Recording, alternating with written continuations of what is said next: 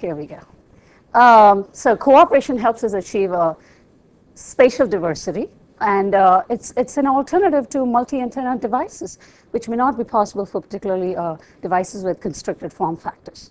So specifically, I'm going to talk about cooperation in a multi-access network, and by that I mean a network of many sources or users that are communicating with a destination.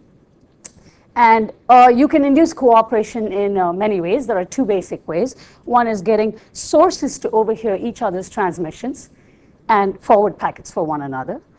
Alternately, and this was the idea uh, that was uh, developed by Sendonaris, Erkip, and Aazhang in 98. And uh, alternately, one can um, introduce a, a, a dedicated relay node that listens to all the users and forwards packets for all the users. Uh, this thesis is really about a, a, a multi-access network where you have one relay, one destination, and many sources. So does it matter how, I mean, does it matter if you do user cooperation or relay cooperation? And I, I think our thesis here is that the choice of cooperative approach matters. And we will show that over the process of the next hour. And, and, and just basically from a, a thousand foot view, you see that user cooperation implies you have to get these users to uh, agree to share their power and bandwidth, they're valuable resources with one another.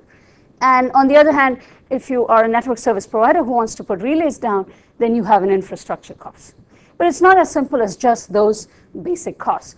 You also have to take into consideration if cooperation actually has uh, other overheads, like when you uh, forward packets for another user, isn't there a processing cost involved? And typically this is not considered. So this thesis will actually take that into account in comparing these forms of cooperative schemes. And uh, the metrics we are going to use to compare user and relay cooperation in a multi-access network is the sum rate and outage probability. So um, before we do that, we're going to develop a model for what I call a simple hierarchical network, which is just you, you're building a hierarchy in this network by introducing a relay as a layer between the sources and the destination. So let's look at that network first, and then we'll go into about comparisons. So the multi-access relay channel is a network where you have multiple sources, one destination, and one relay. This was a model that was actually uh, introduced by Kramer and Van Wijngaarden about uh, seven years back. And um, it is that, and, and, as you can see just from the network, uh, that it is a multi-access generalization of the uh, classic relay channel that was first introduced by van der Meulen and later studied in much detail by Cover and Elgamal.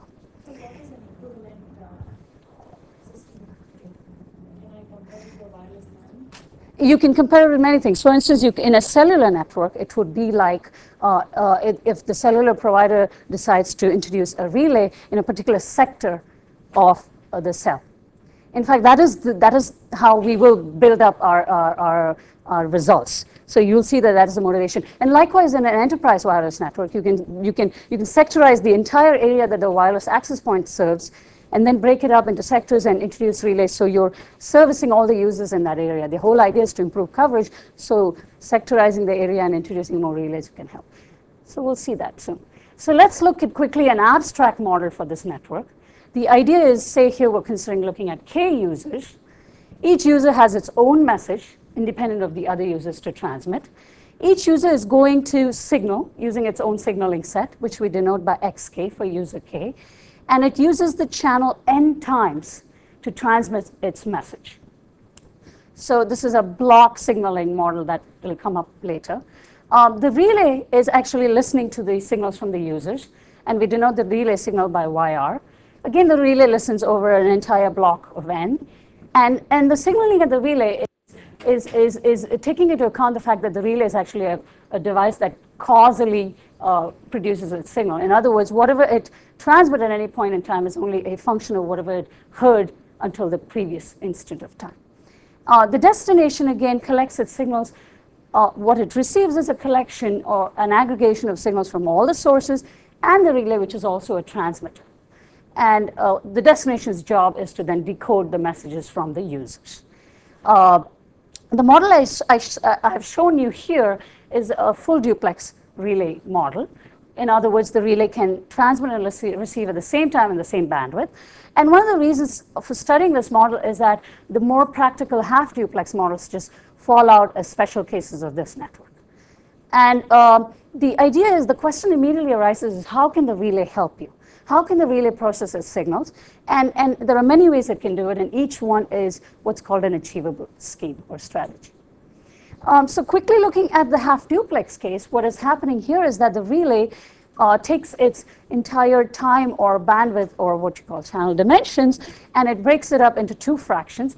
One in which it spends its time first listening to the transmissions from the user, and the remaining fraction that it actually forwards that transmission in, in the appropriate form.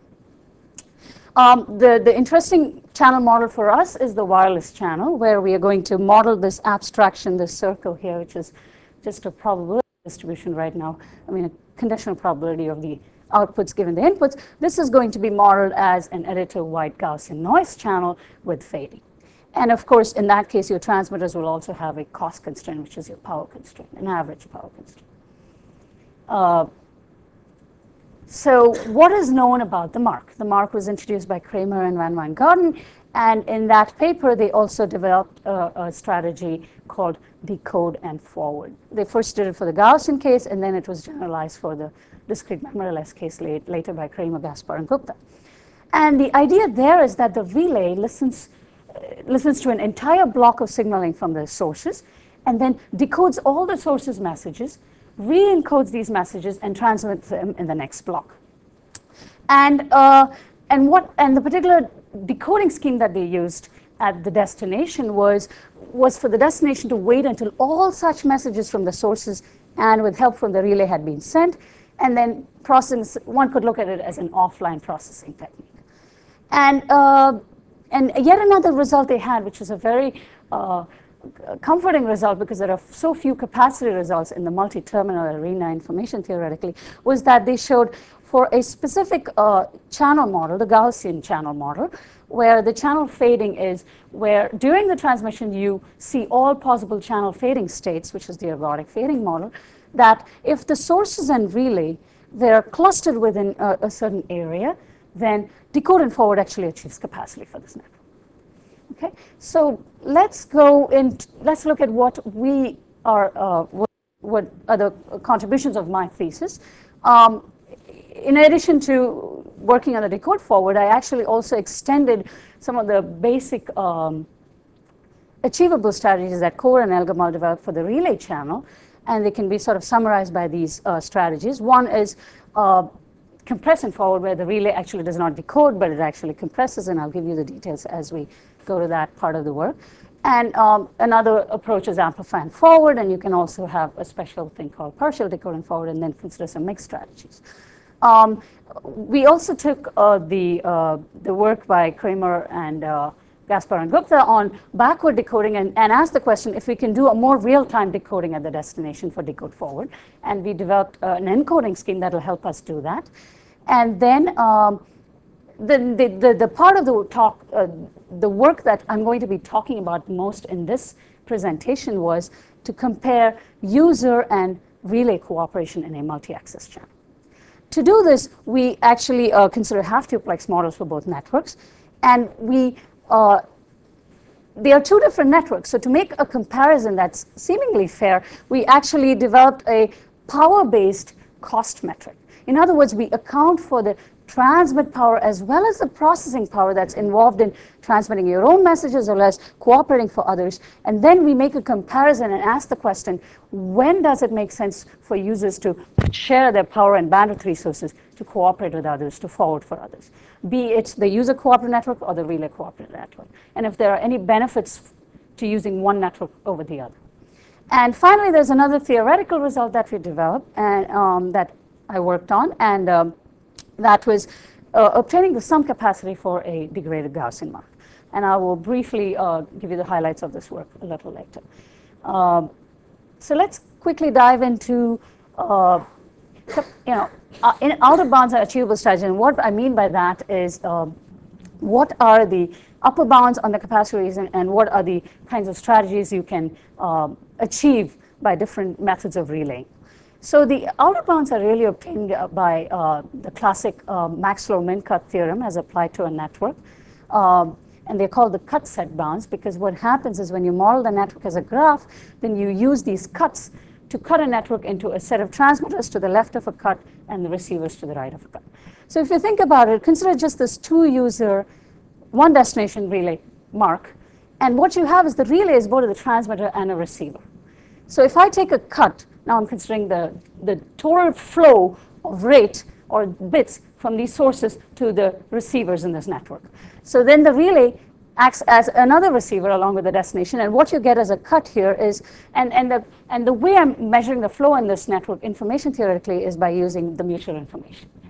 So this cut tells me that I actually can get a SIMO bound, meaning I can, I can use the relay and the destination as two antennas. So this is the best I can do with this network. On the other hand, if I take another cut, where because the relay is also a transmitter, I can take another cut, and then you get uh, a bound where the relay is helping the transmitters as an additional antenna. So this is the best you can do on the other bound. So you will see that some of the achievable strategies that we talk about will can achieve one cut or the other depending on the network geometry. So let's briefly review what is known about decode forward and then you can understand uh, and then quickly uh, go over our contribution of offset encoding. So now decoding forward, as I mentioned before, is about the sources using the channel in, in large chunks, you know, over n uses of the channel, they transmit their messages. And I'm considering here two sources. And they're transmitting the messages. I show a new message in every block in red. The, the relay listens until the whole block, until the end of the block, it and decodes the messages and re-encodes it and, and transmits it again the next block. Now, if the relay has decoded this message correctly, then both the source and the relay have access to the same message. So you can actually use that to, uh, to achieve a coherent combining gains at the destination. So the source, not only does it send a new message, it repeats its message from the previous block in every block. And because the users are independent, you actually, when you do a code construction, you would use these auxiliary random variables to create the code books. Now what happens? So as I told you, the relay decodes at the end of each block. So what does the destination do? So one approach for the destination is to wait until all the messages have been sent by the sources and the relay and start to decode from the very last block. What I've shown you here is three blocks. So the relay waits, uh, so the destination waits until the very end. And this technique is called backward decoding. It was introduced by Willems uh, in 1982 uh, as a part of his thesis. And um, and what it involves is that the destination waits until the very end and it starts decoding these messages. And what you get as a result is it's a multi-access decoding scheme at the relays. So you get a multi-access rate region at the relay for some input distribution and some signaling scheme at the sources and the relay, in other words. And then at the destination, it's again a multi-access uh, decoding scheme, except now even the relay is helping the users. So you see that in the mutual information expressions. So you get another multi-access rate region. So the effective rate region is really an intersection of the two rate regions. So the question to ask is, can you do any better than having to wait until you receive all the messages and do this processing offline at the destination? So after all, as you see, at the end of two blocks, you've received all the, the messages from the previous block from both the sources and the relay. So why can't you just use a sliding window and decode as you go along. It turns out, yes, you can, but you just don't achieve the same rate region as backward decoding. In fact, you can at best, for only some special cases, achieve the backward decoding rate region. You achieve, in general, a smaller rate region. So what we proposed to do was to fix that, was to offset our, our transmissions of the sources. And how do we do that? Um, we first pick an offset order. And by offsetting, I mean that we delay the transmission of each source by a block at a time. So if I choose my offset order as 1, 2, that means my first source transmits in the first block, like before, but my second source doesn't start its transmissions until the second block. In other words, it's sending something dummy, a known signal, in the first block. And if I had one more source, it would start its transmissions in the third block. So at the relay, it doesn't matter. At, at, the end of each block, it's receiving a message, it decodes the message. So the rate region of the relay doesn't change. At the destination, now the first messages from both sources actually takes three blocks including what the relay has to decode and send. So now you use a sliding window of three. Yes. Oh, um, in this case, well, you could use a sliding window of three, but um, you would still you you still will not achieve the rate region of backward decoding unless the window's length is almost equal to the entire set of messages. It, it doesn't still improve, and, and that's because of the interference coming up from each block. Um, so asymptotically, you would improve. That's the only, you, you don't improve unless you include the entire set of messages. Um, so coming back to using a sliding window of three with offsetting, it turns out what we can achieve at the destination are the corner points of the rate regions uh, of the previous rate region that we achieved with backward decoding. But each corner point is achieved for one offset order or permutation of the ordering of the sources when they transmit. So effectively, you, we can achieve the other points by time sharing, and then you can achieve the entire rate region at uh, the, the entire decode forward rate region by offsetting over, I mean, by considering all such permutations. Okay, so let's go into another strategy uh, where the relay decides not to decode, but it decides to compress the signal that it received from the destination, from the from the sources, and and and compression is really quantization. So you can take a block of signals and do vector quantization, but what the relay does is something even smarter. It figures out that not only is it receiving a message from the sources, but the destination also has a signal from the sources. It's a different signal, but it's correlated because it carries the same message from the sources. So the relay does what's called Wyner-Ziv compression. In other words, it sends just as much quantized information as necessary for the destination to decode. Of course, the, the, the, the, compression rate also depends on how good the channel is from the relay to the destination because the relay compresses its signal and then forwards it. In other words, in every block, the sources transmit their messages. The relay comes in and it compresses whatever it received as a new signal. And it has a message to go with that. And, and, the, and, and, and then in the next block, again, this is due to causality, in the next block, the relay forwards that message to the destination via another uh, signaling scheme, right? So, or what we call code word in information theory. Uh, so the destination can decode this message depending on how good the channel is between the relay and the destination. So if the relay and the destination were really close and they had a very high SNR channel between them, I can actually do a very high compression scheme. Sure. So I, I, I, have a question here about where is Wyner-Ziv compression happening? So the Wyner-Ziv compression is happening at the relay. So effectively what Wyner-Ziv means is that uh, the relay creates a large uh, set of code books, but it actually, or a large set of messages, but it sends fewer of them. Oh, okay, it is, it's not being expressed here because I need to put a constraint in there to show that it is happening. I mean, you know, formally it's included, but, you know, you might want to do a little more explicitly by making that ZR1 of X hash. Or, know, right. Okay, so yeah, so I could sh also show that these are from two different sets one being like bits, right? So ZR1 is a bit stream, right? Basically, and uh, then what the relay sends would be some subset of bits. Right. Okay. Yeah. So I guess I should I could I should show it that way. Yeah. Yeah. Formally. It is, it is it is formally included, but yes, I I could also set it in the fashion that um, whatever I compress at at this end is also again bounded by how smartly the destination decodes this at the other end. And so that, that also takes into account the Wyner-Ziv compression. Okay. Um, so, so one point I do want to make is that just as uh, Kramer et al. showed that decode forward achieves capacity when these when the sources and the relay are clustered, sort of giving you the transmit antenna diversity, you know, one of the bounds and the cut set bound, the, the MISO bound. The the compressed forward actually when the relay is very close to the destination you it's literally like handing off its signal because you have such a high rate channel bandwidth channel between you and the destination between the relay and the destination so you can achieve the other cut set bound which is the SIMO cut signal. Right. Um, so quickly, there are two more strategies. One is the um, one is a partial decode and forward, and, and, and I think it is now being also called multi-path decode and forward. Um, and the idea there is that uh, instead of letting the relay decode the entire message from the source, um, the relay only decodes the message partially. In other words, you can model that as saying the source really sends two streams in every block, but the relay only deco decodes one stream. This strategy is particularly useful for the half duplex case.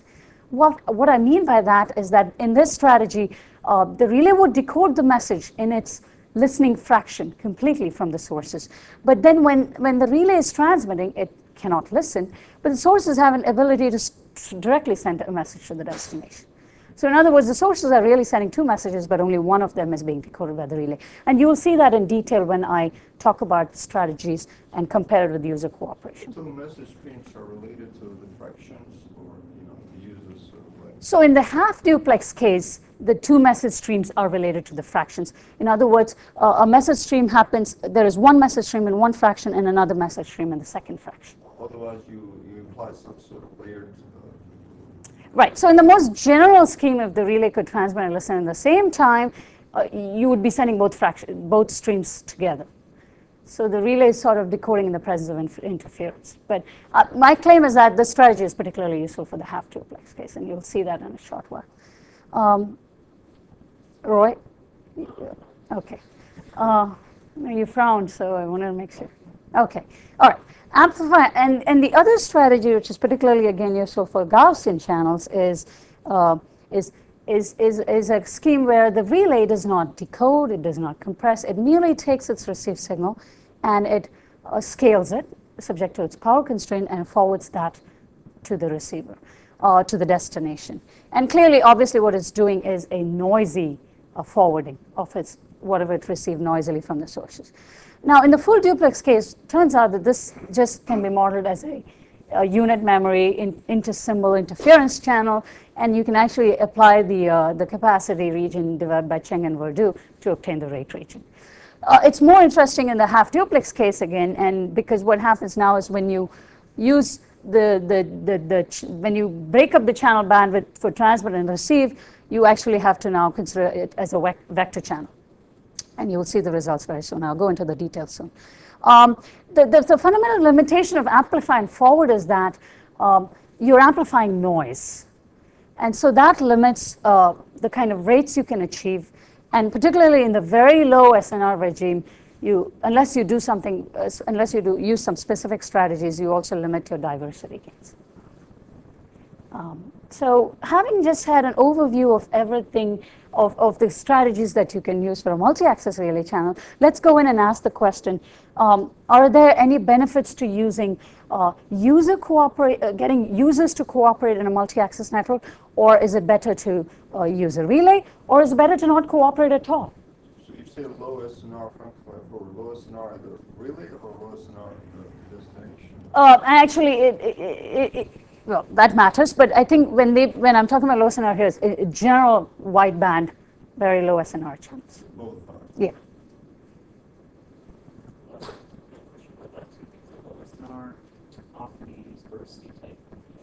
So, right, yes. So in fact, what you have to do is uh, use a very high bursty uh, signaling. So over a very short period of time, you're going to use all your power to transmit.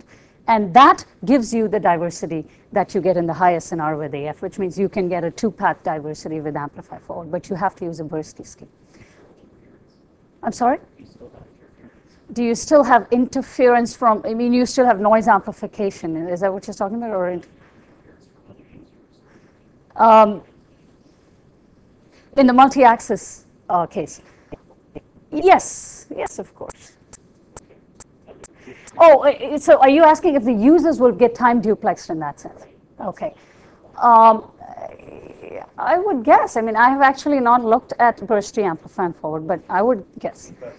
Okay. If all three transmitters were using bursty signaling, they are silent most of the time, right? So right. What, would they ever transmit on top? Like, would they ever interfere with each other?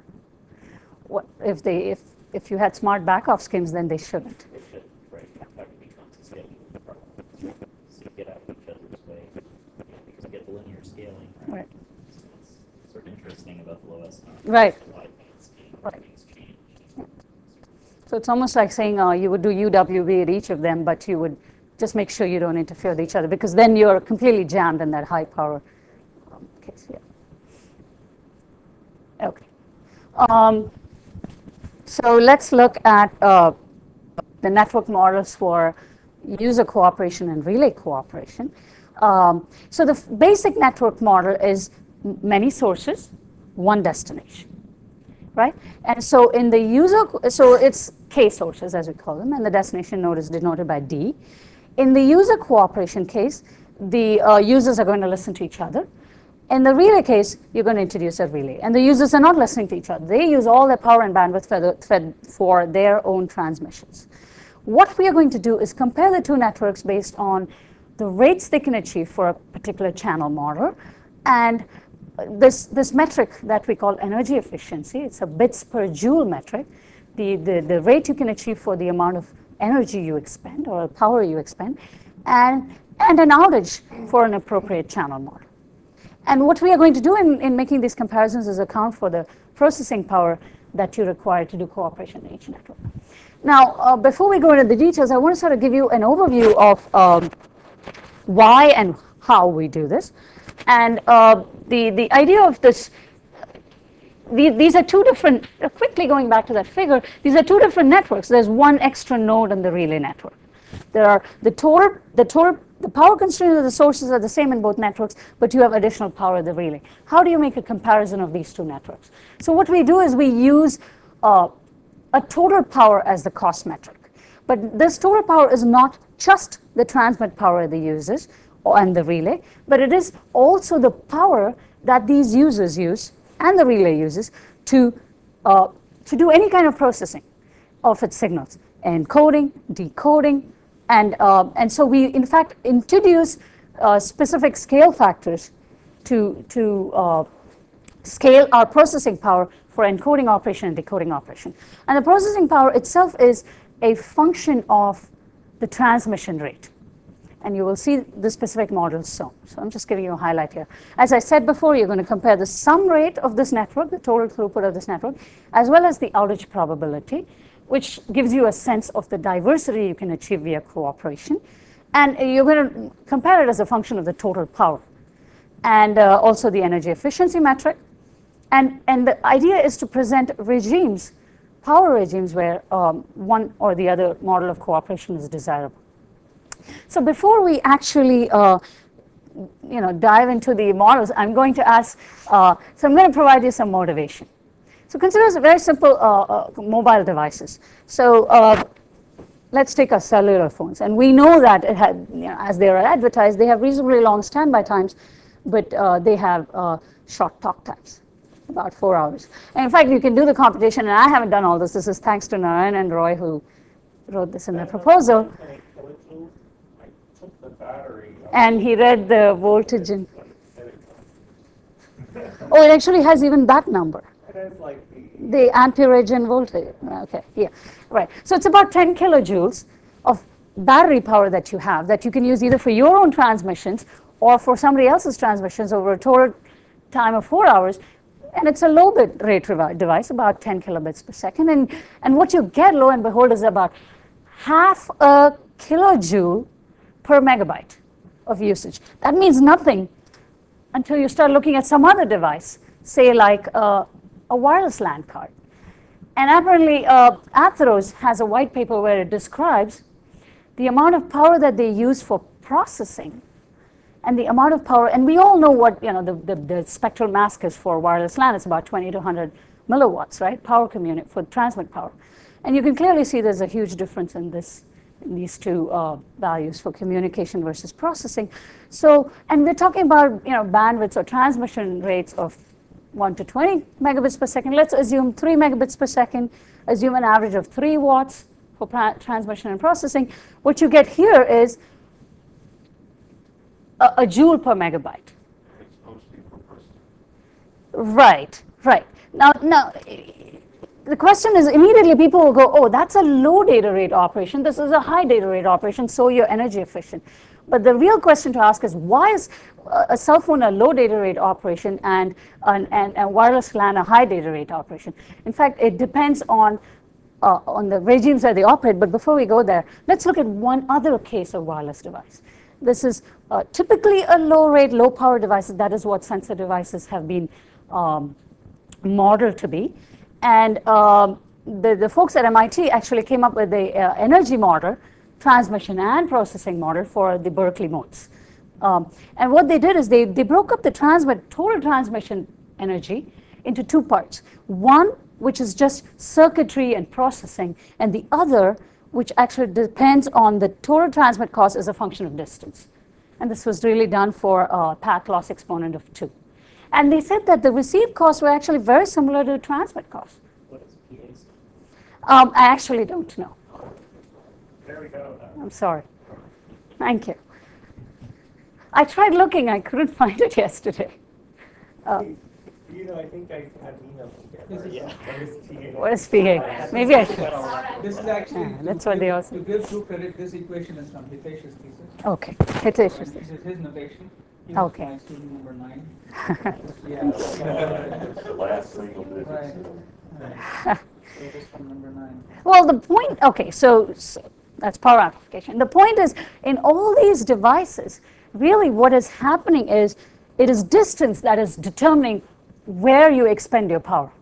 In fact, um, as was uh, uh, sort of written in the monograph and as well as in the proposal of Roy and Narayan, it is that uh, we can distinguish wireless links basically by two kinds of regimes where your energy costs are expended. One is in the long distance links, typically a kilometer, where your transmit power is going to dominate because of the distance over which and the path loss exponents dominating your requirements.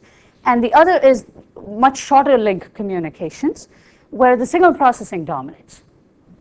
And in fact, power consumption in this case actually depends on your total aggregate incoming and outgoing rate, because you have to process all those bits.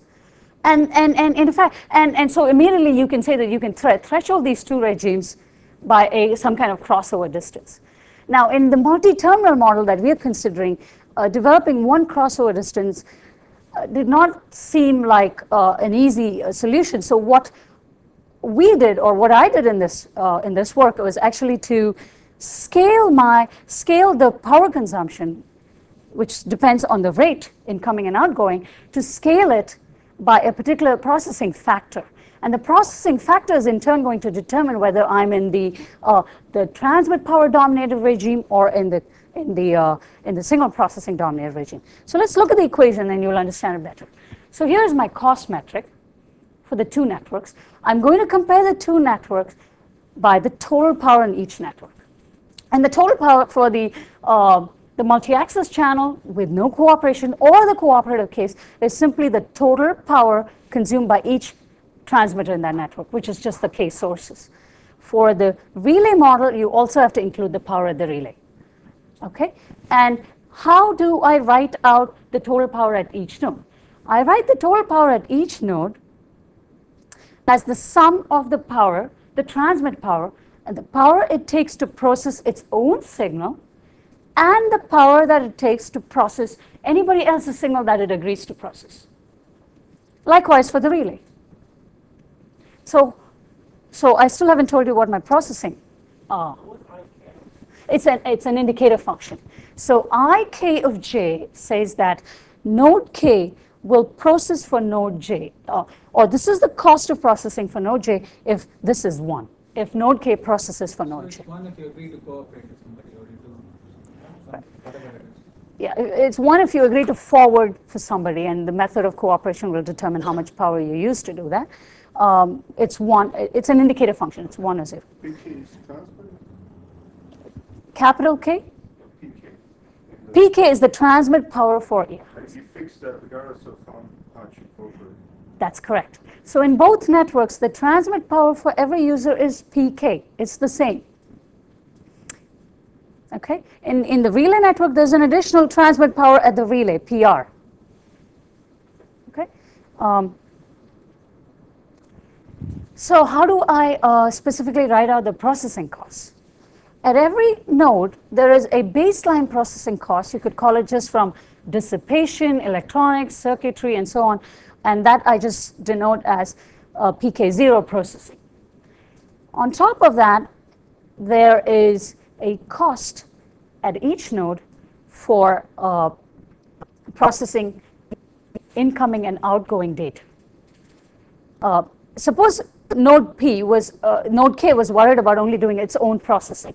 The rate at which it transmits will determine how much it processes. So when you're transmitting, you only do encoding, you don't do any decoding. So in fact, I write out specifically what the costs are for encoding and decoding. Now, fundamentally, my cost function for processing is basically just some function of the rate, Rj. If user K helps user J, user K is going to incur a cost that's a function of the rate at which user J transmits to user K, that's Rj. Okay? And suppose uh, I help user J, user K helps user J by a decode and forward process. Then in that case, it has to decode the signal from user J and then again encode it and, and transmit it. So I uh, distinguish the two costs by using two scale factors. Okay? You kept these functions. So yeah, so the f is a function that can depend on a lot of things. I mean, it depends on the rate. You can have any kind of utility model for f. Specifically, the function we use is a log function. It's just log of 1 plus pj. How do you know the beta and delta don't depend on R? Uh, good question. So in general, yes, they, well, okay, so it is a highly, um, what about, uh, i- i- it's a problem where parameters do depend very much on each other. But uh, to, to come up with a very simple model, what we did was we said, maybe uh, the, the, the, the, the nodes of the network are such that the cost they have, the, the, the scale factors they have for decoding and encoding are very small or they could be very large. So we actually vary the range of these etas and deltas.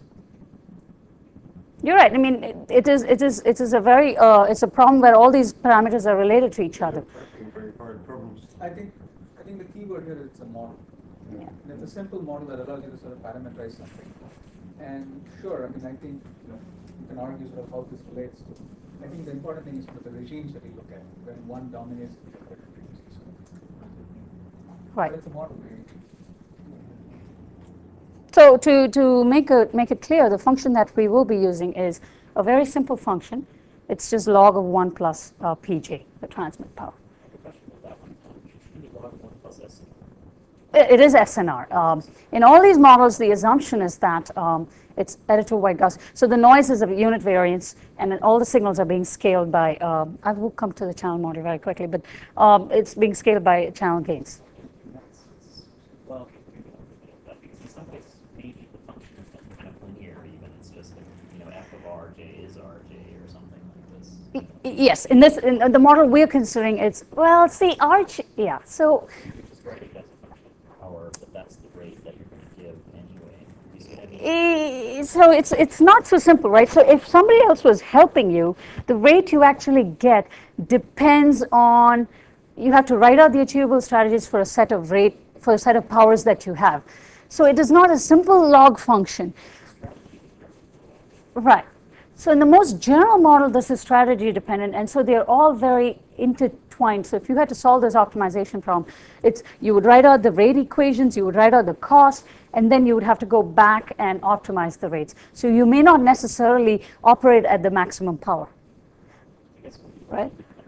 you have a rate region, where on the boundary of that region you're operating, right? Because then you're changing your RKs. Right. But but That, that, correct. But even even then, you may not even want to operate at the boundary of the rate region because now there's a cost associated with using that power. And so, to step away from that rather complex problem and consider a much simpler case, we decided we'll just uh, put the function of the rate as just a log function, a very simple log function. It sort of models rate in, in your classic Gaussian channel, it's like assuming that these sources were transmitting in a Gaussian, uh, additive white Gaussian channel just to the destination and they had an SNR of Pj at the destination. So that's the basic rate. Because even from cooperation, you're not going to get multiplexing gains. You're sort of getting gains within the log. So to first order, it's a reasonable approximation. So that was the uh, motivation. Um, so let's look at the two network models in detail. I mean, we have to ask the question, how are these users uh, transmitting, uh, how are they helping each other and so on. So let's focus on that. What we have done here is we've modeled the channels as, uh, so the relay is a half duplex relay. And uh, the underlying channel is actually a fading additive white Gaussian noise channel. Uh, so when I mean half duplex relay, I mean the relay is going to allocate its, its, its bandwidth to listening to some, uh, for some fraction and transmitting for the remaining fraction. Specifically, the way the users are going to be scheduled is a time duplex scheme. So every user gets, gets a slot for transmission. This is how TDMA works. But now with cooperation, each slot of the user is broken down into two more two slots. They're not necessarily equal length slots. The slots depend on um, the amount of time that the relay listens, and and then the remaining part, the amount of time that the relay, uh, the remaining time that the relay uh, transmits. We're looking at it all in time. You can do the same in bandwidth and frequency. Uh, so in fact, if you wrote out the rate regions, you would optimize over these uh, fractions to achieve the largest rates. Okay. Um, the, the sources in each of their slots, they transmit over both of these fractions. Okay. Um, for the user cooperative network, you can actually have two schemes. Because in the user cooperative network, there is not just one relay or one other user. There are up to, in a K user network, there are up to K minus one users that may be willing to help you. So you could either schedule all those. So in fact, I write it more generally as saying user K has LK minus 1. LK can be anywhere from 1, from 0 really, to, uh, to all K, K minus 1 users. LK minus 1 can be that many. Um, so because you can have that many users, I can actually schedule the users in a couple of different ways. One is a simple two-hop scheme. So what I've again shown you here is for user 2. And I say that user 3 and 4 are willing to help user 2. So in the first fraction, user 3 and 4, as well as the destination, which always listens, are listening to user 2's transmission. In the second fraction, user 3 and 4 have now listened to the transmissions and they're ready to forward this information. So all of them transmit and the destination listens. This is a two-hop scheme. So in the two-hop scheme, in the user cooperative network, all the users that are willing to cooperate for you transmit in the second hop. Okay? You could alternately also consider a scheme where the users come on one at a time in a sequential order. So if again user 2 was being helped by 3 and 4, 3 decides to go first because maybe it has a good enough channel, it listens to this and it can decode or it can do whatever processing it does quickly enough and then it starts transmitting. 4 still waits and then it starts transmitting in the next fraction. So now I have many fractions. So if I had to find the rates, I would actually have to optimize over all these fractions. Okay? All right, so let's look at the channel models. So we, as I mentioned many times, we're going to consider an additive white Gaussian noise channel. It's an additive channel. All the signals add. The signals are going to be scaled by a multiplicative channel gains, which I denote by HMK between the mth receiver and the kth transmitter. The model for the, the fading gains, I'm going to consider two kinds of models, but in both models, there is a distance-dependent uh, part that depends on the distance between the transmitter and the receiver, and there's, which is, of course, scaled by the path loss exponent. And, there's a random part. For, in one case, we're going to assume the random part is not random. It's just one. And it sort of an argument for that is to say, yeah, the nodes are all line of sight, so there's really, they're not suffering from fading. And the other model that we're going to consider is where uh, the, the random part is actually modeled as a complex, uh, proper complex Gaussian um, signal with a zero mean and unit variance. And, uh, and what I do want to mention is that these channel gains are assumed to be known only at the receiver. So in this quasi-static kind of model where the transmitters don't know the channel, it's a random channel that's sort of picked at the beginning of transmission and fixed, the users can't really uh, do any kind of beam forming to achieve coherent gains. So what, what they're going to rely on in that kind of model is the multi-paths that go to the destination to get uh, uh, diversity gains. And so the specific metric that we will use for each model is, for the no fading case, we're going to use sum rate, achievable sum rate. And for the quasi-static case, we're going to use outage as the metric, outage probability as the metric.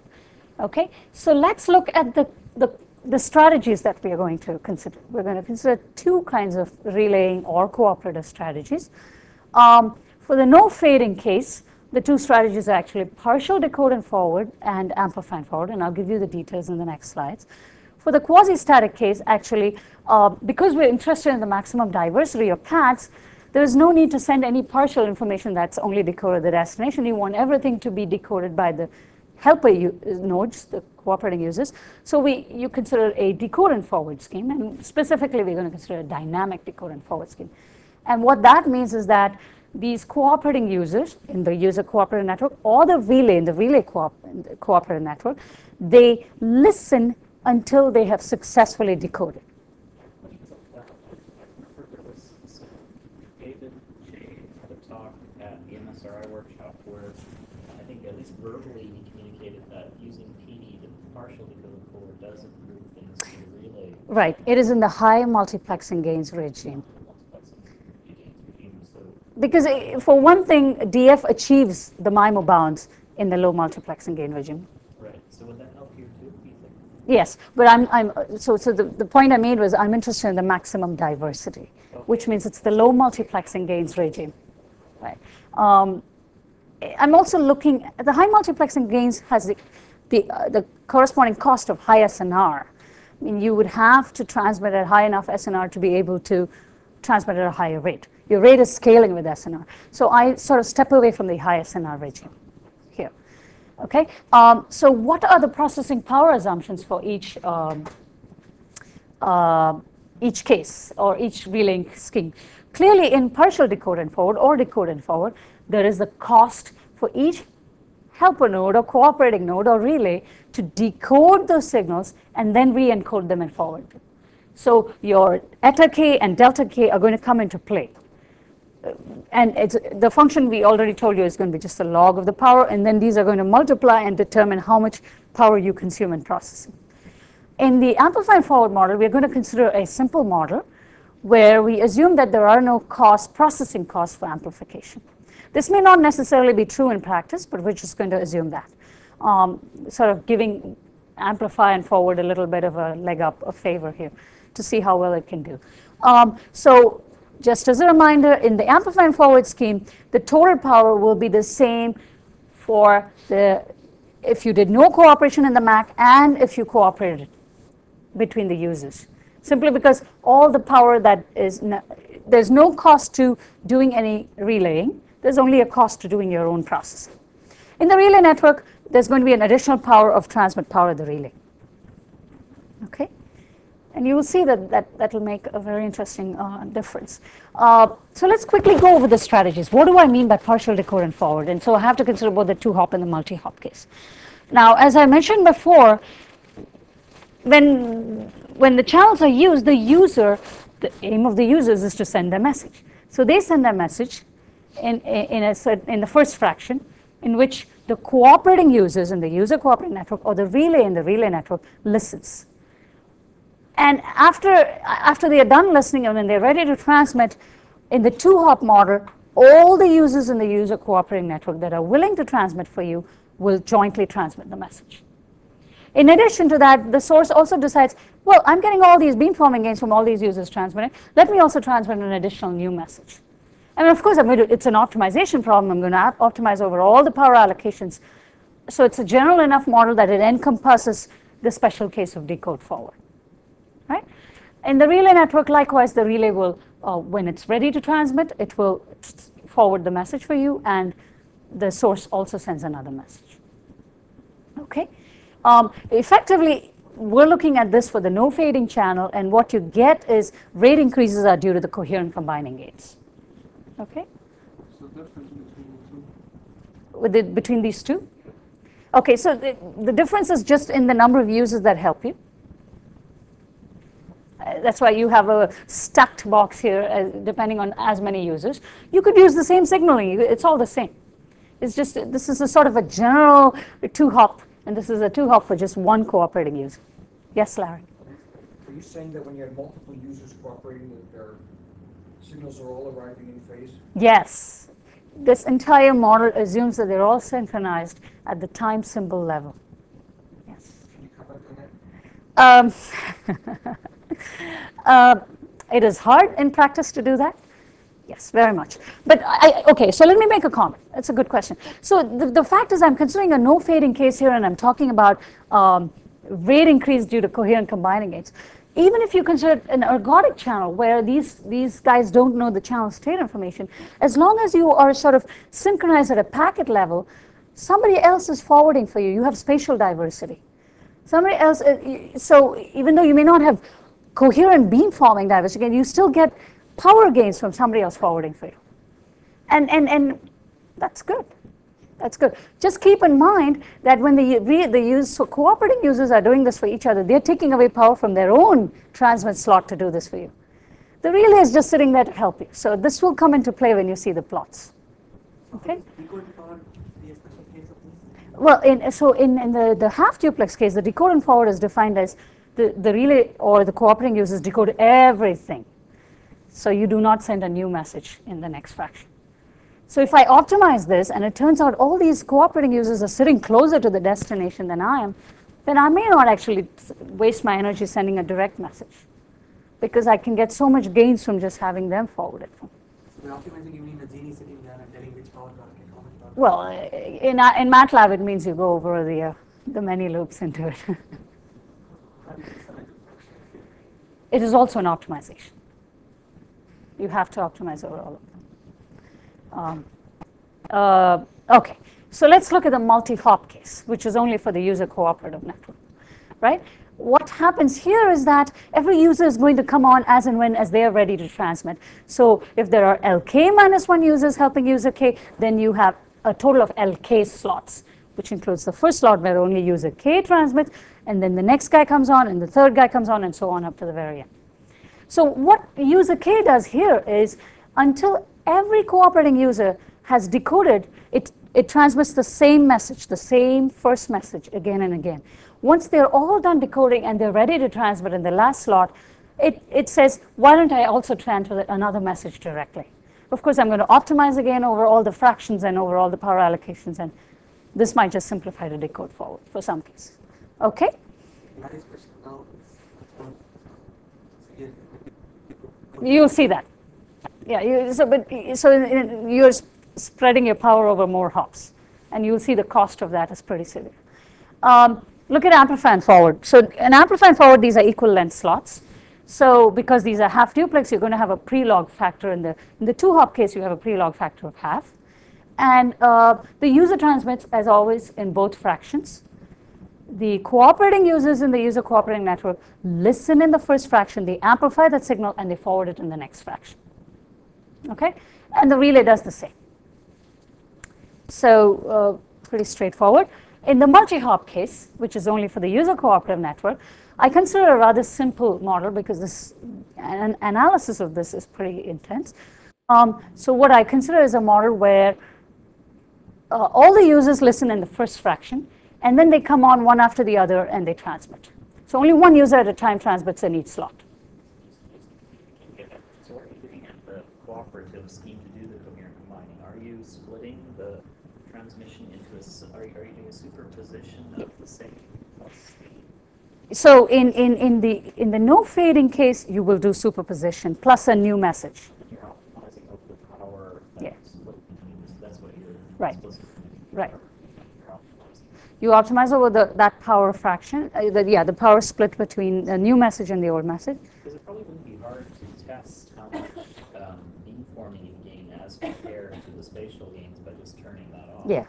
Yeah. And you'll see how much additional gain you actually get through beamforming. It may be small. I think- Or it may be large. I don't know if it could be that small. Um, That would be interesting all by itself because then you wouldn't have the tight synchronization requirements Right. at all. In fact, they go away if they're, if they're independent signals. you can- Oh, I see. So, okay. Right. It's crucial to No, so, so it's a very, very simple problem, actually. Once you write the code for the larger optimization, it's a very simple problem. Yeah. Optimization to out. It, it may be very well worthwhile uh. Yes, uh,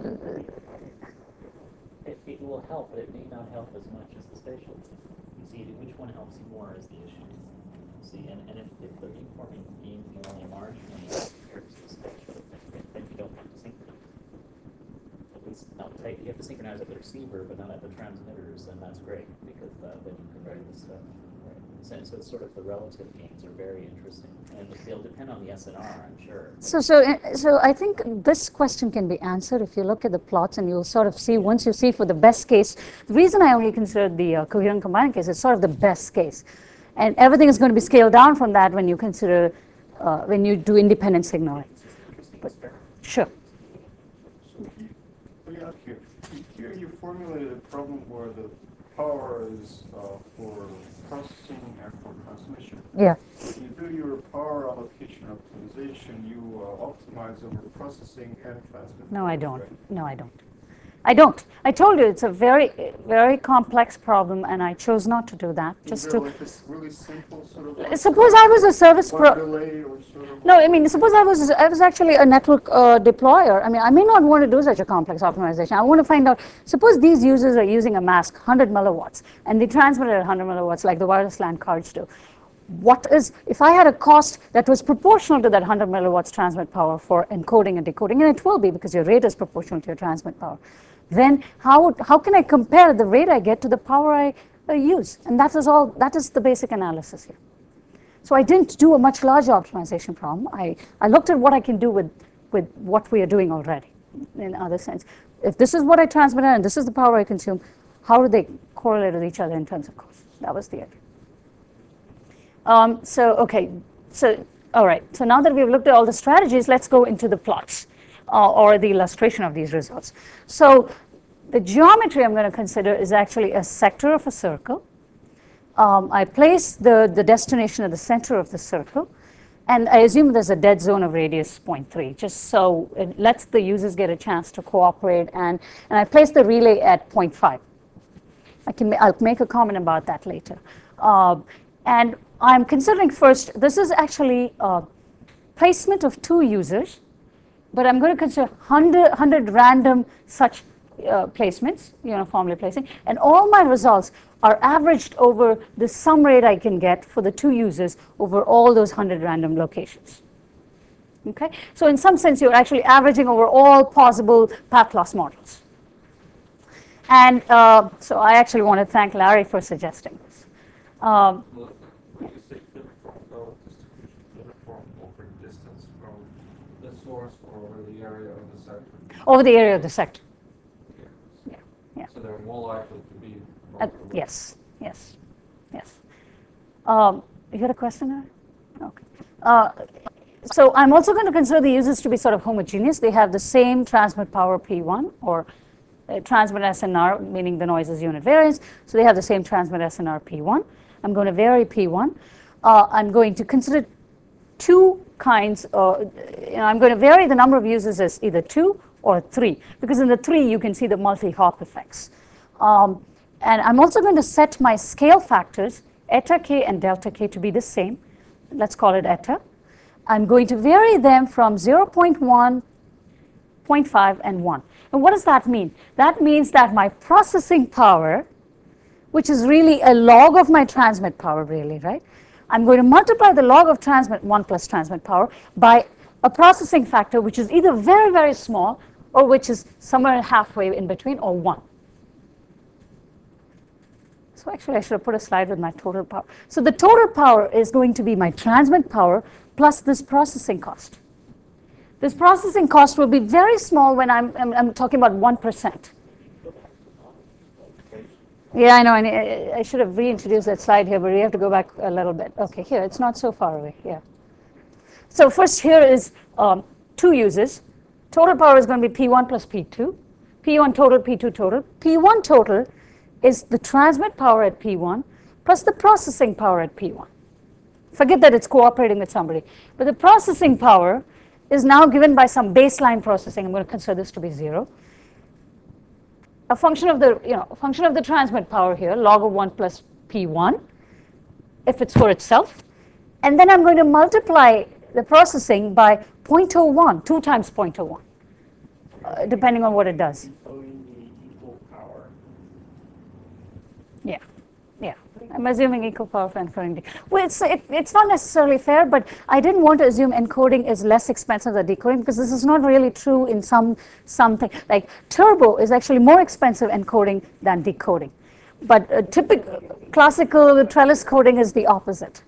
I think it depends on what you think you're spending your power on. Yeah, What the, what you're calling decoding, right, a lot of that is the fact that, oh, you're, you know, you, you have to do all of this, uh, sampling and you're, s- you know, yeah. sample, you know, ten bits per sample or something. Right, yeah, so there's all the front end costs and, and But here, the I, the indicator function, the first one, second one are always the same. They're, they're zero or one, aren't they? well, so, so here's, the, Both together. You can either be encoding and decoding together, because that's. That's not quite true. That's not true. That's not true. That's not true. If I'm only processing my own information, I'm not decoding anything. I have only an encoding cost. If I'm processing your information by decoding and then I have both. No, I only set these two parameters to be the same, but my indicator functions are not the same. cooperative problem, there, I guess I, I would agree, because sometimes the one relay one node operates as a relay while the other one doesn't. For the, for the relaying problem, though, only the relay has this attitude. Yes. So for the relaying problem, you would have this as an aggregate time cost, whereas for the other case, I guess you're right, yeah, you- you're changing. But they're in different places, aren't they? Like one's at the trans, like the encoding is at or, or the relay? is- No, no, no. So suppose I was relaying for you and I agreed to do, I agreed to decode your message. Then I have both decoding, encoding and decoding costs Yeah, yeah. because I re-encode. Encoding costs are always uh, No, that's for at somebody who's a transmitter. Right. And decoding is always somebody who's a receiver, and a relay, of course, is both in different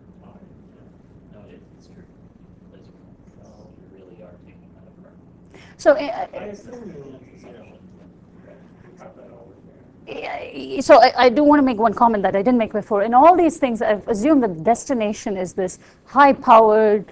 Uh, it has all the ability to do all the processing. I just don't take that into account here. It's going to scale everything by just one factor, so I don't do it. Um, but uh, but I do want to come back to the point. So the relay, yes, the relay has its own transmit power, and whichever user it helps, it has a processing power associated with that user. But in, so there's only two, two models I'm considering, decode forward and amplify forward. In decode forward, you have an encoding and a decoding cost. In amplify forward, you actually, I'm sort of simplifying it and saying, nothing. There's only a transmit cost. I mean, there is a cost in reality to amplifying and there's electronics cost, but it's, it's just another simple model. Just, just to see what happens. And uh, likewise here. So the users get a cost based on the rate. Uh, Should I clarify any more? Is this clear now? I also have, I also have a question. You said that you set the constant processing power. Yeah, yeah, I set it to zero, yeah. it's a translation. I mean, you can scale everything by whatever. And if I pick any number, somebody will say, why 10 to the minus I 5? The way to this result, right? sort of- When I had this discussion with the, with the I think the way to sort of view this is that, um, if you really think sort of, you want to see how well Amplify and Forward is doing, we are really sort of giving it the benefit of doubt in terms of the processing cost. We're actually sort of treating it a little favorably. In reality, it will be a little worse. Right. We're not explicitly accounting for some cost. We're just sort of saying whatever transmit power it's using is basically sort of what the cost. Therefore, I we would sort of view this as a sort of a Right, I'm, I'm, I'm actually thinking that you're also giving some benefit of the doubt to the decoding forward, because you're, you're saying in the decoding forward, you're only incurring the processing cost when you're actually doing something. Yeah. But in, in, the in, in the technologies that are used today down at, um, you know, s- s- s- sixty-five na- na- nanometers down, unless you have some very good power management and very good scheduling on top of that of the communication system, your, just your leakage begins to kill you, and so you wouldn't have that benefit for the decoded forward. Of saying, you know, when I don't do anything, that leakage current is negligible, and I can just set it to zero. Yeah, that is a, it's a very So- simple model. Anyway, maybe I'll make a comment after it shows the results, right, sort of based on what you just said. Right, So therefore, you can view all these things as, all these things as sort of best case results, right. right? And I wanted to sort of see these best case results, and then we can come back. No, but the point is, those are all translations, and I think when you're making a comparison, you can still see uh, advantages or disadvantages of the of the schemes. So let's go into uh, the plots. I'm going to the first set of plots we're going to look at are for partial decode and forward, forward the no fading case. First, I'm going to look at the two user case. I'm going to plot the sum rate, the two users, as a function of just the transmit power P1 and as a function of the total power. And, and I will do that, the total power for the different values of the processing scale factor. As the processing scale factor increases, the total power consumed is of course going to correspondingly go up. Okay, so you'll see all the curves translated and you'll see all that. Um, the, the way I choose the power for the relay is it's, it's a factor of the power for the transmitters. It's either half of it or it's the same. Okay? Uh, and I also plot the energy efficiency, which is just the ratio of the total rate achieved to the total power consumed in bits per joule. So let's look at it. Here is the partial decode and forward results for two hop. And the black curves with the star are always just the simple time duplexed multi-access sum rate. Okay? And that's as a function of just the transfer power at each one of the sources. When I cooperate between the two users, I actually get about a little under 2 dB performance improvement, maybe 1 dB, um, over the entire range of my transmit power. Okay? With relay, I get even more. But in some ways, this, this curve, this, this, this plot does not account for the relay's power. So let's just really skip to the next plot. Okay? Uh, what I have here is the total power in the system. Total power used to transmit, used to process over all the nodes. And of course, the total power is going to be different for the relay network than the user cooperative network. Okay, so now what you see is that as the power of the relay increases, you don't get much from the relay. That little 1 dB gain actually just went away because that curve was shifted over because of the more because of using more transmit power, right? But relay is still doing better for eta equals 0.01 relative to user cooperation.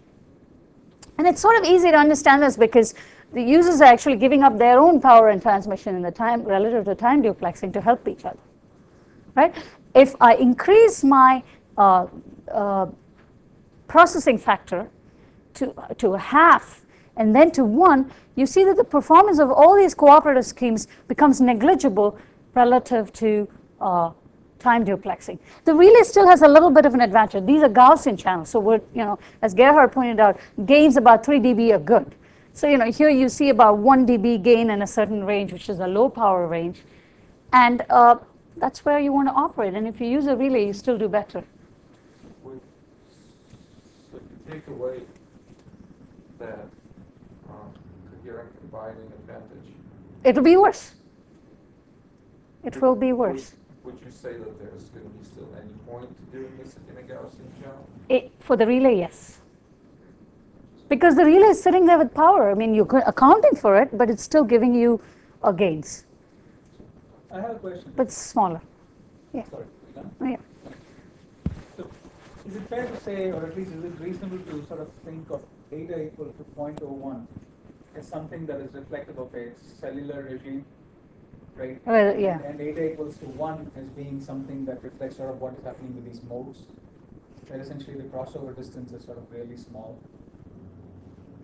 Even the motes and even even the wireless LAN. I mean, I think wireless LAN is even more So power consumptive. that- Yeah. That eta equals 0.01, sort of. So in fact, so, so I, I was going to say that, and I'm glad you said it. If you, if you had to, if you had to do this kind of cooperation, it might be better for a service provider now to consider putting a relay in a cellular network than to put a relay in an enterprise network. I mean, that is what I, s- or than to put, than to get, use laptops to cooperate in an enterprise network. Maybe putting a relay still gives you some benefits, but getting laptops to cooperate in an enterprise network given the amount of power they're going to consume for their own transmissions, it's, it's not so If you, if you had a relay, you could still cooperate. if you have it, yes, I just said, yeah, user cooperation is less beneficial as the processing costs become very high. That's, that was my point. So a curve like this is something, you had all those pairs of places on this cone of, of, of a circle, right? Yeah, Just have to do yeah. this- do this graph. yeah, I was going to, I was going to come to that. This is, this is averaged over all such points. So you choose a strategy, you choose a power allocation given whatever P total is, um, signaling whether it's, and, and then you evaluate the rates you obtain over all pair locations where the relay is fixed in that one spot. Yes, And then you get an average rate for the pair you add up R one plus R two. yes. Um, But note that this is also an average power. This power is not fixed. Only the transmit powers are fixed. The transmit powers are fixed. The processing power depends on the transmit power. And uh, So total, are you saying, depending on the geo, the geo, the geometry of a specific instance, like where the two transmit, the two sources are? no, actually, no, no. S- you can't- No, because it- I should, but I don't, um, because it makes it that much more complicated. Remember, my function f of r, which is my processing function, did not include and it's just explicitly 1 plus pj for node j. Doesn't include any scaling by distance. Because then it's a much more complicated problem, so I stepped away from that No thought about, like, you, do you optimize it over like, well, in a specific geometry, maybe you wanna help the one guy? Yes. Okay. So I should have I should have put that on my slide. When you do user cooperation, uh, I don't just randomly say, "Oh, user X is the I, we are two users. I'm going to help him. He's going to help me." No, I only choose to cooperate with the other user. In other words, the other user forwards a packet for me only when my rate is better than what I can get directly to the destination. Yes. So in fact, you will see in the amplify and forward case that the TDMA rates are the same as the user cooperation. And that's only because uh, you might go, I actually, uh, that's the lower bound. Okay? So next. In TDMA case, baseline case, which you're comparing? Yes, yes. Okay, so let's look at the two hop case. Uh, let's look at the energy efficiency metric. I'm sorry, I'm really sorry, Larry. When you take away the co-phasing advantage from the multiple, from the property users, don't the curves uh, separate them? The curves are going to go further down, I mean, relative to TDMA. So there's some, you get a bigger separation. With, with, with, with relay versus user cooperation, that's correct. Yes, yes. Relay also. Relay will go down too. But I think my guess is user cooperation will go down even more than relay. Why will relay uh, curves go down? Because again, even in the relay case now, you're getting uh, coherent combining gates. And you won't get that in the relay case either. Yeah. You only get the relay's power as a benefit. I mean, even in the source case, you get the source power as a benefit, but it's coming from their own transmissions. Is. Yeah.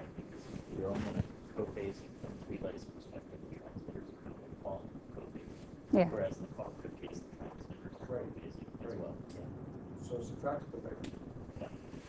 A more realistic to assume that the relay the co-phasing. Yeah. Why? Why? Why? There is only one. Yeah, yeah. But I would take it away. Yeah, but I would, yeah. Okay, let's look at the energy efficiency. Okay, um, what I'm plotting here is actually again for every node location, set of node locations. I find the rate, I find the total power, I average the two, and I plot that as a function. So I'm keeping the x-axis the same for all of them instead of plotting it as total power, which will actually depend on the rate. I keep it as a function of the transmit power, SNR. Okay, and what you see here is that when the processing factor is very, very small, uh, relay and to some extent user cooperation do much better than the energy efficiency curve for uh, time duplexing. Now, there are some very fundamental things here. When you actually divide rate by power, you, we all know that they do very well in the wideband regime, which is a very low power regime. That's why you see these curves are monotonically decreasing, right? But the other thing I want you to take away from these curves are that these, the relay and user cooperation do better up to a certain point. And then there's actually really a crossover power, and you'll see that further and further as eta increases, where beyond which it makes no sense because as the power transfer power increases, the transmit rate increases, hence the processing cost increases. And if I have a larger factor multiplying my processing power, my, my doing cooperation is limited to a very low power regime. That's sort of, this is, are you talking about this, this line here? This is Gerhard's suggestion that, oh, it's, yeah. So it says that, I should have said it. Like different things. No, Now, you know, I should have mentioned that in my, The scales are not same on those. yeah, I should have said that. So we said that point corresponds to that. So therefore, these terms are really bad. Yeah, but it's not your fault, it's my fault that I didn't write it. So you're, all the- you See know, these numbers, when you see on the second and third parts, are actually quite low. Yeah. So I did want to mention, on the whole, of course, as total power increases, for the same rates, remember the rates are the same. If you're scaling by different total powers, you're going to actually get lower and lower efficiencies. So energy efficiency falls, and the curves actually even change. So one overtakes the other eventually. And I'm saying that in this range, it is better for you to just do time duplexing. It's, there's no point to cooperating either by relay or user when your processing factors are so high for decode forward. You'll see a very different result with amplifier forward. So I'm going to quickly go because there's a processing power for, for when you do your own encoding. There is always a processing power. Yes. Yes. So you can do the same for k equals 3, and I'm going to quickly show you those. Um, what, so there are now two curves for cooperation. They're always the blue curves. What is funny is that the 3 hop barely buys you anything relative to 2 hop. And there's a very easy answer for that. K is the number of users. Now it's 3. So I can do either a 2 hop if 2 users help me, or I can do a 3 hop if 2 users help me. Yeah, 'cause just at the con- if you're averaging over the entire area, one thing you're not taking into account here at all is coverage, right? If, if you're interested just in the people on the boundary, you may get very, a much wider spread again between TD and A, because then you have to go all the way to Hmm. Whereas if, you know, the other one, you have an intermediate. But so- get a lot of space. So one way to do that is to increase the dead zone. Well, or, uh, yeah, I mean, there's various ways of analyzing that, but um, often, especially in cellular systems, you're interested in coverage, right? It's a very important uh, issue. It's just as a comment, it's not a criticism at all. It's, it's just, um, this year, because you're averaging over everything, you, you may be pulling curves closer together. So if you really Mm. show benefits, then you may want to look at uh, different types of scenarios that correspond. The problem with curves is that you can get quickly overwhelmed by the number you put there and distinguishing them. And That- okay, um, okay. So the, the the point I want you to take away from this is three hop is not buying you anything, and it's very easy to see why. I've shown you here a plot for three users over 100 locations, and think about it. The three hop is going to help these users sitting over here hopping via these users. Now these users have a very high rate channel because their distances are very close to the destination. But instead of using it for their own time slot, they're going to take that power away from their own sli- slot and use it for these guys. In effect, actually, you don't really improve the rates, but you help these people, but you also lose some here. That's why you don't gain on the whole very much. So further to his point, even though you're not changing the overall throughput, it seems like you are helping with coverage. See, it, it, you Yeah. There's a lot of interesting things that come up because you can start dividing geometry pieces where do the relaying and they write down. and. So, to, but to, to answer your question, you suggested just considering users on the rim, right? Say, or, but if I did that, most of those guys are not going to really cooperate with each other. They need these guys to bear the brunt of their transmissions, and I think that is fundamentally the problem with user cooperation. But, but they will be helped a lot by the relay. Oh yes, okay, yes, of course. And then the people against relay will just say that you're giving a relay again, and then they might just come back and argue with. Yeah. So averaging still shows that, right? So, I mean, uh, if I increase the scale factor, you see that the gains are even smaller. But, but what, what I want you to take away from this is that user cooperation really gives you no gains. And relay cooperation can give you up to 2 dB gains, which is, 1 dB gains, which is not, nothing to be sneezed at in the, in the, the highly theoretical model that we have here, right? I mean, this will all decrease in the real practical sense, but This is a, this is a benchmark. Um, so let's look at the energy efficiency. And what you will see here is that in the two hop case, what you saw was that when the processing factor was 1, TDMA started doing better than any of the cooperative schemes. You start seeing that even at the processing factor of half. And that's only because in the th when the number of users increase, they are sharing their, in the user cooperative scheme, they're sharing their own limited resources between each other.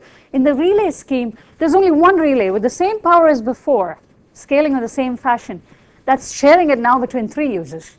So all you're saying is that if you had more people in the system, you have to scale your resources proportionately, right? All right, uh, jumping to amplify forward, you're going to see something very different. That's why I want to talk about this. Again, it's similar. I'm going to plot sum rate, energy efficiency. Let's consider the two user case first, okay? I don't even consider a three user case because you have a pre-log factor of half, 1 over k for k users. Forget any co coherent combining gains or any gains inside the log. The pre-log factor will kill you relative to TDMA. And you'll see that right here in the two hop case.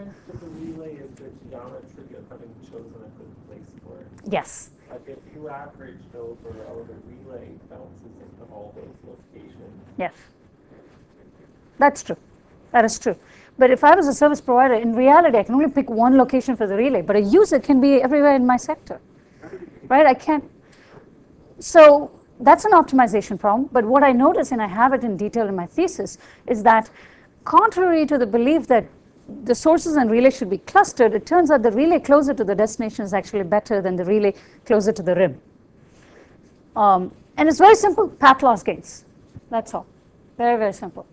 Um, and there's an also another point. You may get capacity when you're clustered, but that capacity is not necessarily the largest rate you can get in a. This is what happens in multi-terminal networks. Geometry matters. You can't say any absolutes without looking at geometry.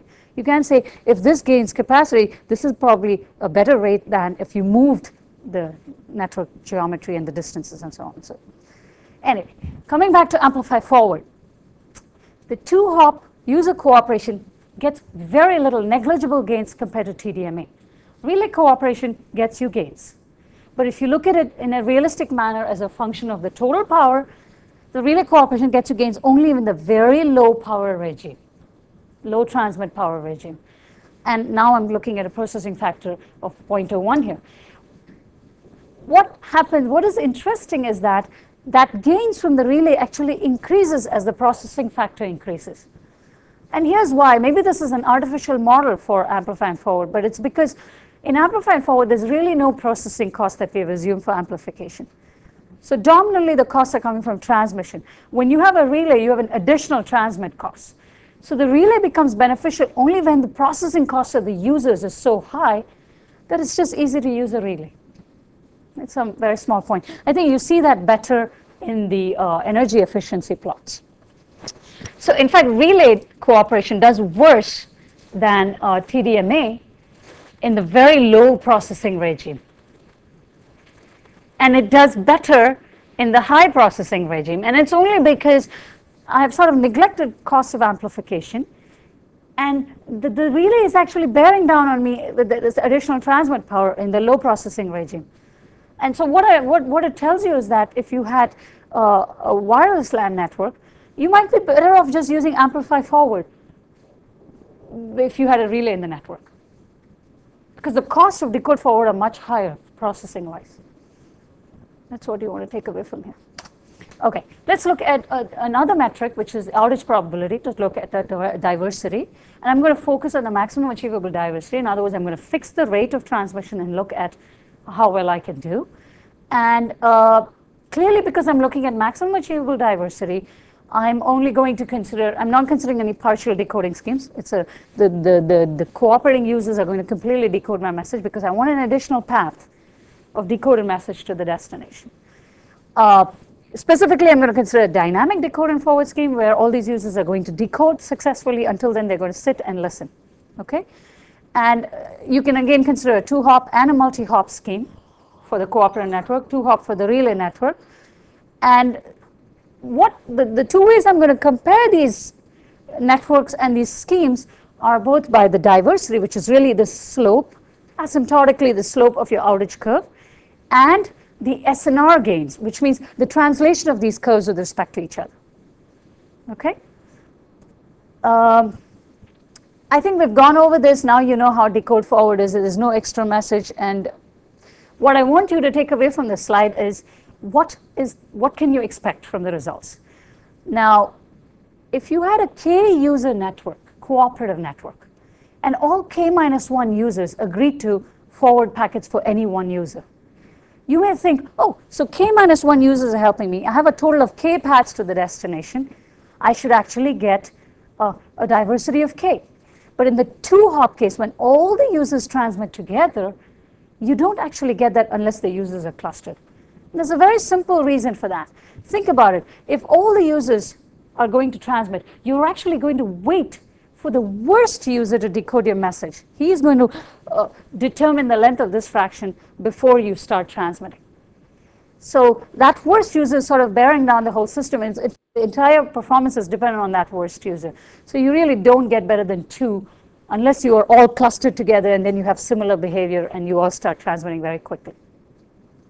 So what this is telling you is that very often user cooperation is touted as getting these k users, k uh, diversity, k-fold diversity gains. It's not really true if you use uh, the channel many k, k times, as you will see in the next slide. So if you do the multi-hop case, then yes, you've used the channel k times. You're allowing each user to come on only when they're ready to uh, transmit, and then you can get a diversity of k. But just from the complexity of this uh, coding scheme, you see that you have a delay associated with this, there's an associated complexity, and you'll also see there's a processing cost associated with it.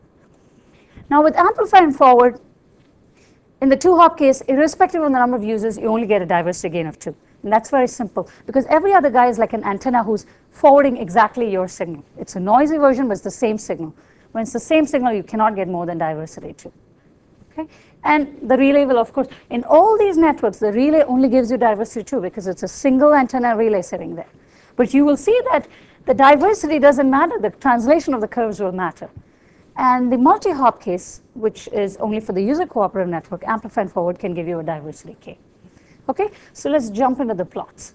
Uh, first, I'm going to give you the uh, dynamic decode forward plots for two users and then three users. This is again um, an outage curve as a function of uh, transmit SNR. Let's look at total power because that's a more realistic and fair comparison. TDMA, you sort of you start seeing that the slope is going to converge to one. Okay, um, the outage curves for cooperative, the slope starts converging to two and the relay 2 is again 2. You're averaging the outage probability over for any two users at two locations, you average the outage of this user and this user. So it's average outage and then over the entire geometry. So it's like 200 for two users. Yes. Yes. So in fact, you consistently see that relay has a better performance in terms of SNR gains for the same diversity. So, so the notion is for the cooperative, it's always symmetric, right? If I, uh, you know, at some time, if I uh, forward for you, you forward for me, right? I don't assume that. In, in this case, yeah, in the outage case, I assume everybody actually forwards for everybody else because I'm interested in diversity. But in the wait case, I did not assume that. Because you could sit, you could be further away from me. I'm not going to get much. That's what I'm saying. You're assuming that here, right? Yes, I do assume that in the uh, diversity case because I'm in this. Uh, I'm interested in the multi paths. I'm not so much interested. Yes, so that that bears as a cost. This is one reason why these curves are translated to the right of uh, the relay curve because somebody further away from you is using their power to transmit for you. You're right. But if I didn't do that, on average, my slope might be even worse than this. My slope will be even closer to the, if, if, if not every user helped every other user, then I'm not going to get diversity 2 for every user. Yeah, but how does it matter if the slope is worse? It sort of shifts the curve down a little bit. Yeah, but, well, yeah, so it might shift the curve like this. Oh, it does matter how the slope is, right? I mean, that also determines how your outage goes down. So you're right. So I might get a curve that looks like this. Okay, that's a valid point. Yeah, you're right. I mean, I don't know how. So you, you're right. You'll see that in some some other case. So maybe there's a point. Hardly ever see, or maybe never any outage curves with the with the what?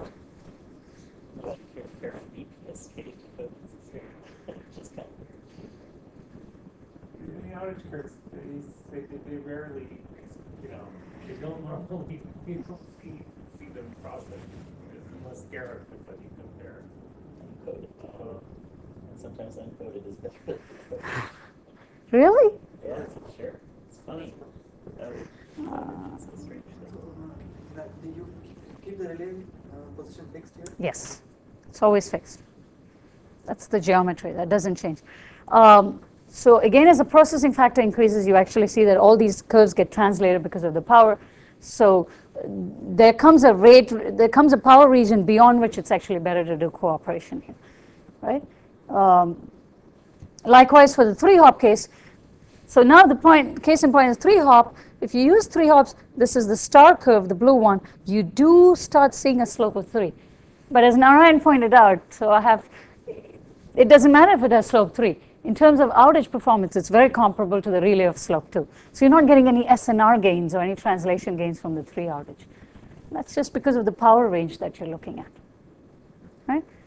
Um, so I'm sort of running through this a little bit.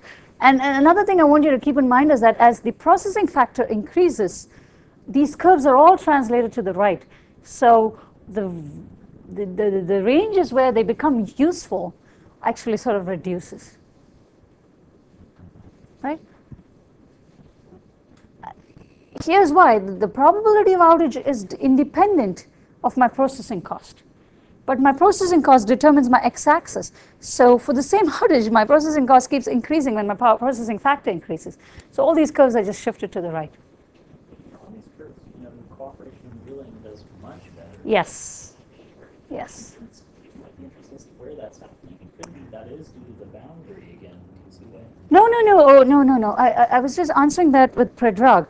It, in this model, I don't assume that only some users will help the others. I allow every user to be helped by all the other users. Suppose I had three users, some arbitrary location. Every user is going to is, is will have his signal overheard by the other users and forwarded to the destination. In other words, I'm ensuring that there are multiple paths. For the relay, there's only there's only two paths. Yes, and it's only because this is averaged over many, many more locations, and the relay is sort of fixed in this 0.5, and the users can be even closer. And then there's this guy sitting way back. He's helping you. He's forwarding a signal, but he's expending his power doing it. Curve. Yes, but that is only because, yeah. So, so there, there's a pro and a con to this, right? When many users help you, you get diversity gains. That is seen by the cur- the slope, but it comes at a power cost. I think I'm saying the same thing many, many times. be dominated by, I mean, it- without the relay, it's gonna be dominated by. I think that's you're. Yeah. I think you're helping. Yeah. Right. But then- Oh, okay. I understood what he meant. Really big gains. All right. In terms of coverage, you know, and I'm guessing that's the Yeah. boundary, the, the, the fact that. Okay, I got it. All right.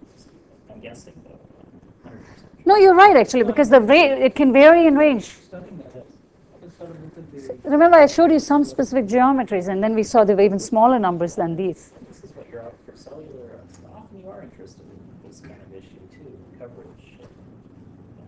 Yeah. That's where you get.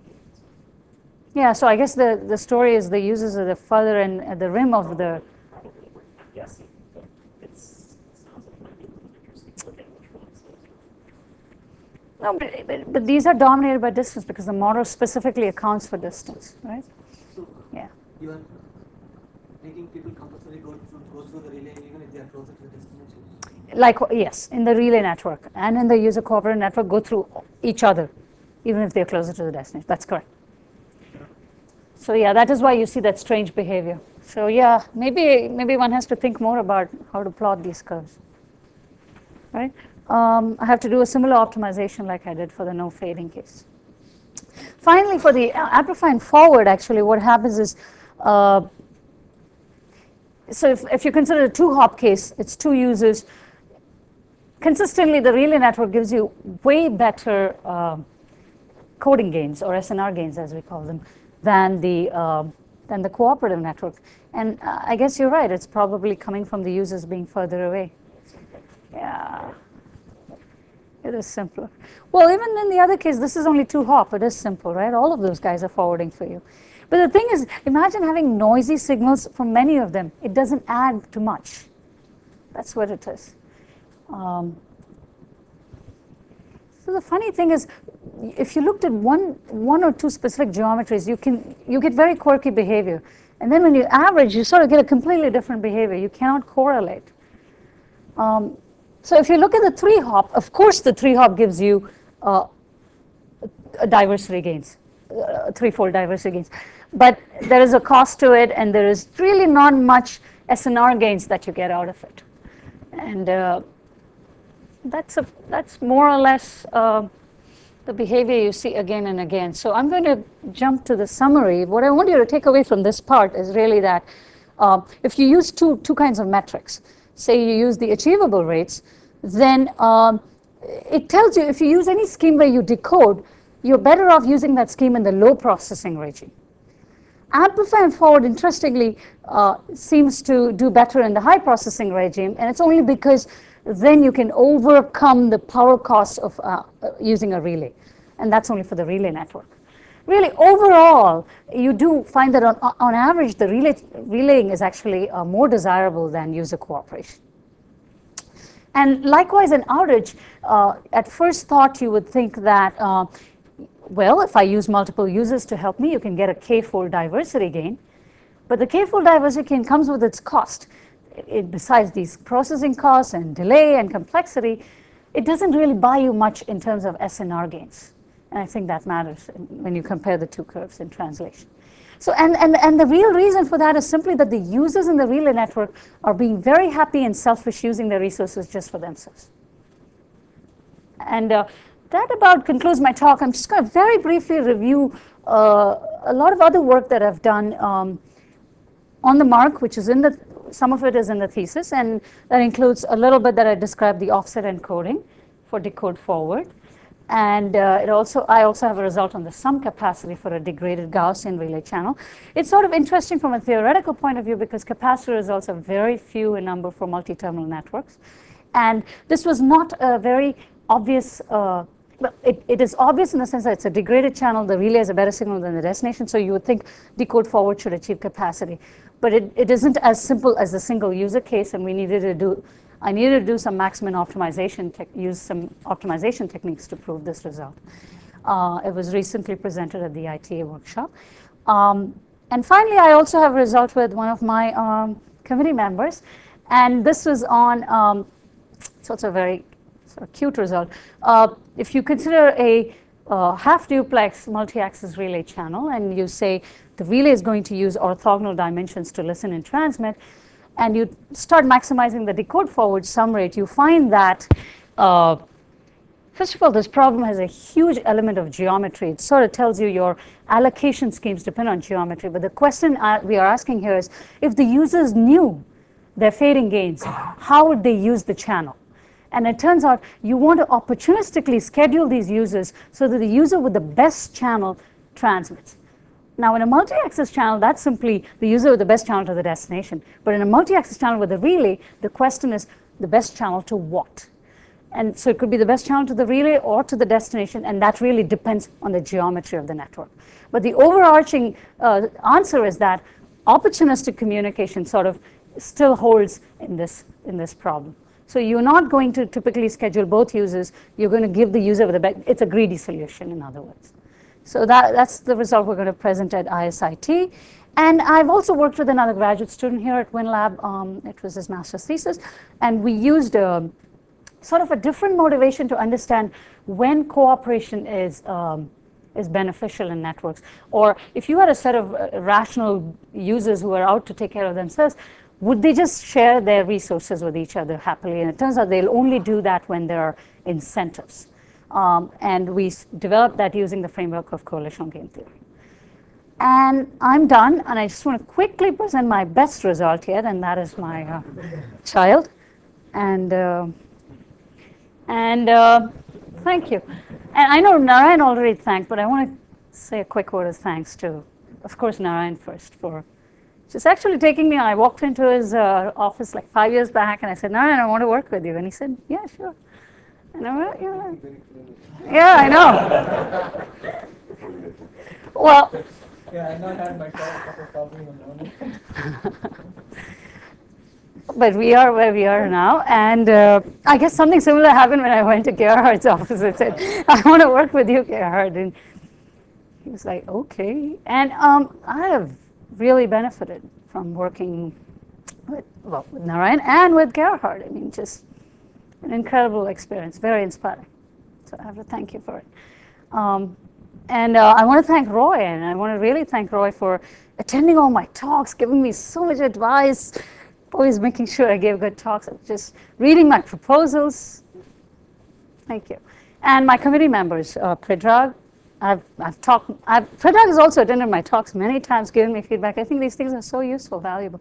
And Vince for um, agreeing to mentor me and, uh, you know, supporting me in my application and stuff. And thank you for being on my committee. And and Larry, a very good friend, and many professors at WINLAB, and uh, other professors, the students, and everybody who's here today, and my family, my husband.